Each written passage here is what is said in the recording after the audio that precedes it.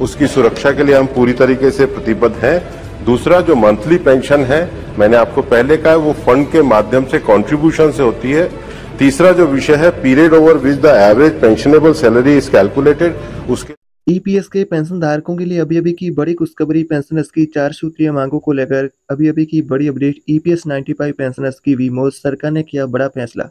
EPS pension भोगी को न्यूनतम पेंशन वर्तमान में आपको एक हज़ार रुपये मिलती है। अब आपको सात हज़ार पाँच सौ रुपये प्रति महीना आपको मिलेगी। साथ में महँगाई भत्ता मिलेगा। इस तरह की बड़ी अपडेट आ रही है पेंशनर्स के लिए। पेंशनर्स को सुप्रीम कोर्ट के आदेश अनुसार हायर पेंशन का लाभ देने को लेकर अभी अभी की ताज़ा अपडेट आ रही है और आपको E P S ninety five pensioners है और उसके परिवार को फ्री मेडिकल सुविधा का लाभ दिया जाएगा।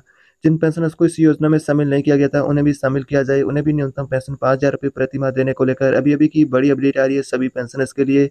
चार सूत्री मांगों को लेकर सरकार ने बड़ा ऐलान किया है। इस तरह की सोशल मीडिया के आधार पर बड़ी जानकारी सामने आ रही है।